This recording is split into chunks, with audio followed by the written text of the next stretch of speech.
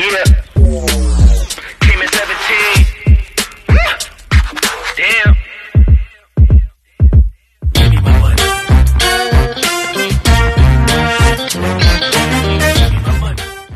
At yun, Bayang Karerista, welcome back po muli dito sa ating YouTube channel para sa ating continuation na ating konting silip at diya ngayong araw po ng linggo.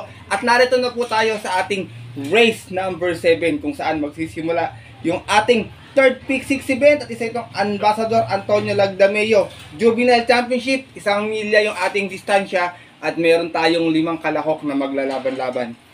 Dito, first choice ko, numero 3, naka-upset na karaan, morning after. Narerendahan po ni Kelvin na bobo.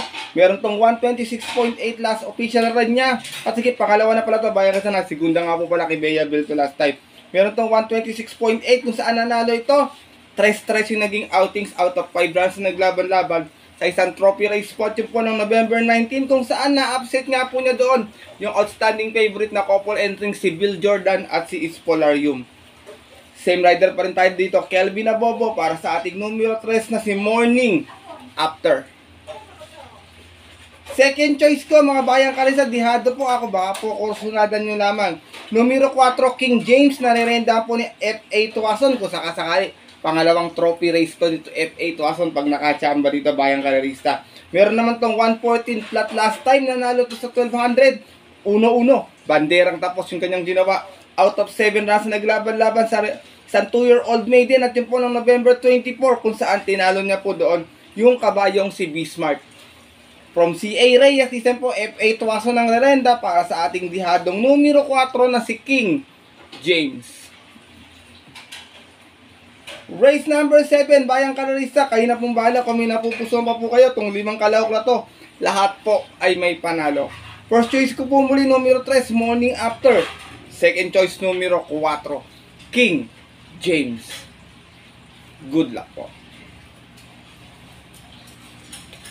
At narito na tayo sa ating race number 8 kung saan magsisimula ating third pick 5 event. 1400 muli ating distansya at isa itong Happy Jockey Incorporated Trophy Race Spin Raccoon Rating Base Class 5, 11 to 15 split bracket. Meron tayo itong 13 runners na maglalaban-laban bayang karista pero 12 in betting number lamang po ah. Dito ako laging nabibitin to baka kumukuha lang ng chepo baka maipwesto ng maaga. Numero 8, My Star, narirendahan po ni Patty Dilema. Last time si Gunda may 128.6 to. 13 Gs naging outings out of 14 runs na naglaban-laban. Sa rating base 11 to 15 din po. Yung po nung December 1 last race kung saan ang nanalo doon yung kabayong si Manny for Gabriel. Same rider pa rin tayo dito. Pati dilemma para sa ating numero 8 na si My Star. Second choice ko to nag-uumento baka makaulit pa dihado siya muli dito bayang kanarista numero 12 so humble narerendahan po ni RC Suson last time nanalo to by a photo may 129 plus sa 1400 4-4 naging outings out of 12 runs na naglaban-laban. Sa rating base 6 and 10 po bagong akyat ng grupo dito. At yun po ng November 24 kung saan nakapoto niya po doon yung nanalo kahapong si 7 of Diamonds. Same rider pa rin tayo dito. RC Suson para sa ating numero 12 na si So Humble Isinasama ko pong third choice, baka nakakalimutan ng tao at makaporma sa unahan. Eh, sigurado to, makakachamba to at yung pangalan nito bagay na bagay pag nakachamba. Numero 2, iikot lang, narerendahan po ni Jomer Estorque, tsaka medyo buenas pa si Jomer Estorque ngayon, bayang kalerista.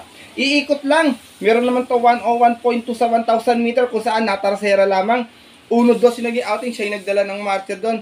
Out of 11 runs naglaban-laban sa rating base 16-21. Medyo bumaba na pala ng grupo to dito. At yun po na October 20 kung saan ang nanalo po doon yung kabayong si Biglang Buhos. From Ayitan Choco, this time po Jomer Estorque ang lerenda para sa ating numero 2 na si Iikot Lang. Race number 8, Bayang Kadarista, kung may napupusuan pa po kayo dito na magandang dihado, dagdag na lamang po tayo ah. First choice ko po muli dito, numero 8, My Star. Second choice, numero 12, So Humble. At third choice, yung numero 2 na si Iikot lang. Good luck po. At narito na po tayo dito sa ating race number 9 kung saan paratingan ito na ating first winner take all bayang kalarista. Magsisimula naman yung kaisa-isa ang pick 4 event natin. At isa itong Luis and B. Decena Villanueva Trophy Race. Pilracom rating base class 4 22-27 split. Meron tayo ditong 13 runners na maglalaban-laban bayang. Isa to, ito magandang karera to, bayang karerista. Dito ako, first choice ko guys, sa tatlong sunod na panalo, numero 9, Gintong Hari, narerendaan po ni John Alvin, John Alvin Gusi, sorry, John Alvin Gusi na narerenda. Galing ito sa panalo last time, may 126.2, dos uno yung naging outings niya, out of 13 runs naglaban-laban sa isang special race po. At yun po nung November 19, kung saan tinalo niya po doon yung kabayong si Lucky Leia. From Boji Henson, this time John Alvin Gusi ang rerenda para sa ating numero 9 na si Gintong Hari. Second choice ko po, baka nang pagpag lang ng kalawang last time to eh. Binalik kay Pati ang renda ngayon. Numero 10, Queen Gabi. Ito si Queen Gabi. Last time may, may 128.6 lamang. Dumating itong panglima. Sa is sa is naging outings out of 8 runs naglaban-laban sa rating base 22-27 po. At yun po, noong December 2, kung saan ang nanalo po doon, yung nayamadong si CU tomorrow. From Ayitan Choco, this time po, rerenda pati dilema na muli para sa ating numero 10 na si Queen Gabi. Eh, sinasama ko pong third choice, maaaring magdala ng marcha. Baka makachamba, maganda pa yung post position. Yung numero 12 na si Don Lucas na rerendaan po ni Alison Pabilik. Huling takbo ni Don Lucas, may 127.2 na segunda. Uno-uno siya nagdala ng marcha ng kalero na yon. Out of 8 runs naglaban-laban, same rating base din po. Yun po ng November 4. Kung saan, nabalikan naman po siya doon nung kabayong si High Society. From Ison Bautista, this time po, Alison Pabilik ang rerenda para sa ating numero 12 na si Don Lucas. Race number 9 mga bayang kalarista. Kung may napupusuan pa po kayo dito, eh dagdag na lamang po tayo bayang kalarista. First choice ko po muli rito, numero 9, Gintong Hari. Second choice, numero 10, Queen Gabi. At third choice po, yung numero 12 na si Don Lucas. Good luck po.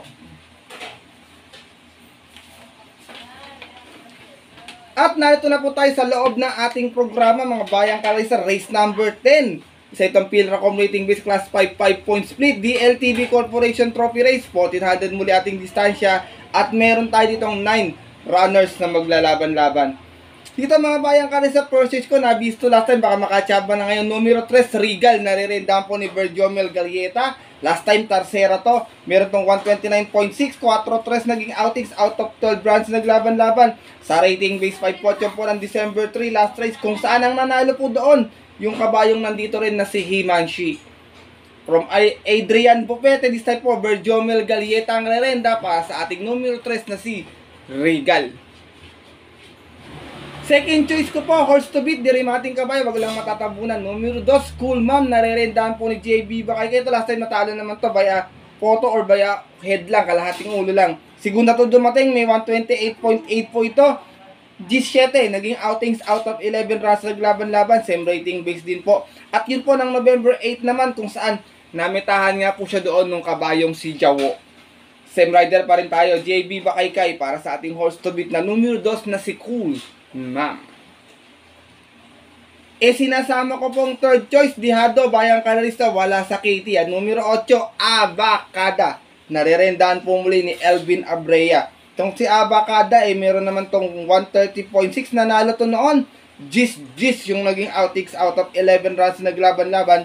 Same rating base din po yun po ng November 18 naman kung saan tinalo niya po doon yung nakadika, nakadihado kahapong si Adorable Felicia.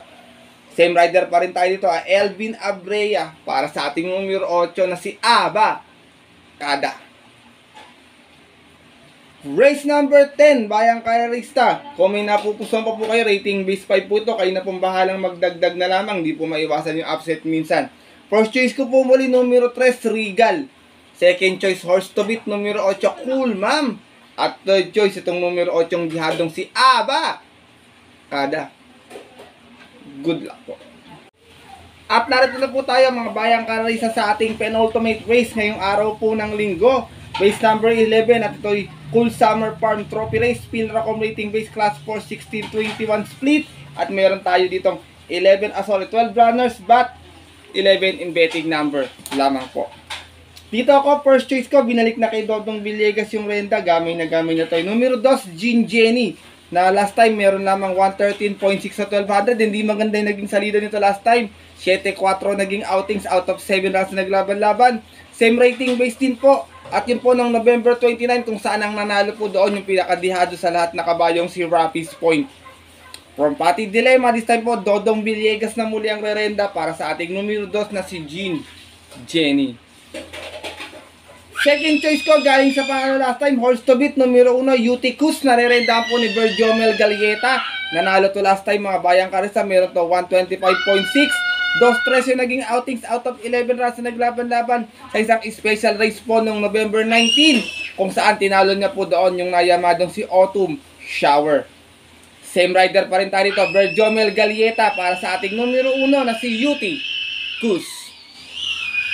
E sinasama ko pong third choice, magandang dihado muli, Bayang Karisa numero 5, Raga Mapin. Narerendahan po ni Pati Dilema. Ito naman si Raga Mapin ay may 128 plus sa 1400 kung saan natalsera to noon ng kanyang pagbabalik. Meron 5-4 naging outings niya out of 10 rounds naglaban-laban sa rating base 22 and 27. Bumaba po siya ng grupo do dito. At yun po ng October 25 kung saan ang nanalo po doon yung kabayong si Top Creed. From Michael De Jesus, time po muli, pati dilema ang rarenda para sa ating numero 5 na si Raga Mapin. Race number 11, penultimate race ngayong araw ng linggo, bayang karisa, kung may napupusuan pa po kayo rito eh, dagdag na lamang po tayo ha. First choice ko po muli, numero 2, Jean Jenny. Second choice, Horse to Beat, numero 1, Uticus. At third choice, Dihadoy, numero 5, si Raga Mapin. Good luck po. At nato na tayo sa ating huling karera ngayong araw po ng linggo, race number 12 para tingnan po natin mga paborito exotic bets sa another 1400 meters at isa itong Silver Bullet Production Corporation and SC Stock Farm Incorporation Trophy Race. Pinracom rating base class for 28 and 33 at meron tayo ditong full gate bayang karerista pero 11 in betting number lamang po tatlo yung ating couple entry dito sa karera na ito. Dito ako, first choice ko galing sa panalo last time. Diversity, nare-rendahan po ni JTC. Tingin ko may uumento pa yung kabayo basta makaporma agad sa unahan. Meron tong 126.6 last time nanalo ito. Uno-uno naging outings, banderang tapos out of 7 rounds na naglaban-laban. Sa isang rating base 22-27 po, yun po, nung November 25 lamang. Kung saan tinalo niya po doon yung kabayong si Amiable Maxine. From Rico Cambasuson, time po, JTC yung rerenda para sa ating numero 8 na si Dai. Versity, wala pala sakit ito pero may star bayang kalerista. Second choice ko, baka kumukuha lang ng tiyempo, medyo bumababa na rin sa grupo. Numero 12, full combat order, na terendahan po muli ni Alison Pabilik. Ito naman, may 126.8 na uling takbo, kung saan nasigunda to noon. 9-8 naging outings out of 11 rounds na naglaban-laban sa isang special race po noong November 18. Kung saan ang nanalo po doon, yung kabayong si Elegant Lady.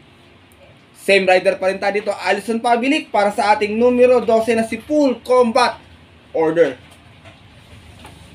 Eh, sinasama ko pong third choice. Ito, tigo, baka nagpagpag lang ng kalawang last time to. Eh. Numero 3, Atomic Bomb with JB Bakaykay. And 3A, Ginebra with Boji Henson. Pero dito ako kay Atomic Bomb. Last time, meron tong 113.4. Nasigunda to sa 1200. 3-4 naging outings. Out of 7 rounds naglaban-laban sa isang merge race po na rating base 22 to 33. At yun po ng November 25 kung saan nakalaban niya po dun yung nayamadong si Sister Moon. Same rider pa rin tayo, Boji Henson, para sa ating numero 3 na si Atomic Bomb. Race number 12, Bayang Carissa, kayo na pong bahala kung may, dag, may kursunada pa po kayo pagpaumahin kung wala po ako ng daily burn.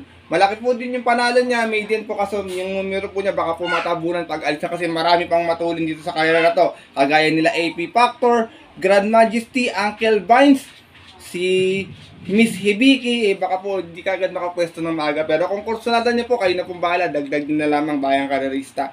First choice ko po muli, numero 8, Diversity. Second choice, numero 12, Full Combat Order. At third choice, yung 3 and 3A na si Atomic Bomb. And he, Nebra. Good luck.